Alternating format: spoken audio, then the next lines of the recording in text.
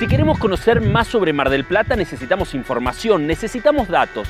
En este informe en particular nos vamos a centrar en uno de los temas más relevantes del siglo XXI que tiene que ver con cómo nos comunicamos, es decir, la conectividad en el partido de General Pueyrredón.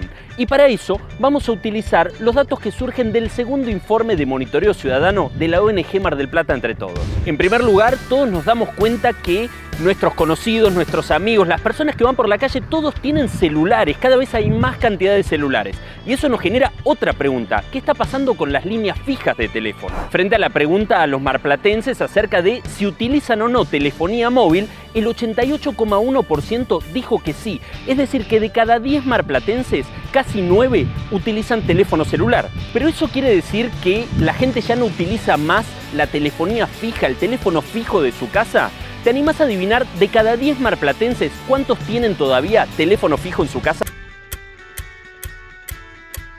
La respuesta es 6, porque el 59,9% de las personas a las que se les preguntó si tenían teléfono fijo en su casa respondieron que sí. Otro dato que surge de otra pregunta tiene que ver con la conexión a Internet. ¿Cómo es el acceso en general por Pueyrredón? Bueno, el 54,3% de las personas, de los usuarios de Internet, se conectan a través de ADSL, mientras que el 43,4% lo hacen a través de cable modem. La diferencia que queda es de otro tipo de conexiones. Otro de los temas sobre los cuales podemos profundizar es el modelo contractual para acceder a Internet, es decir, cómo se paga. El 82% de los usuarios lo hacen a través de líneas prepagas y esto es un poco inferior a la media nacional que es del 88%.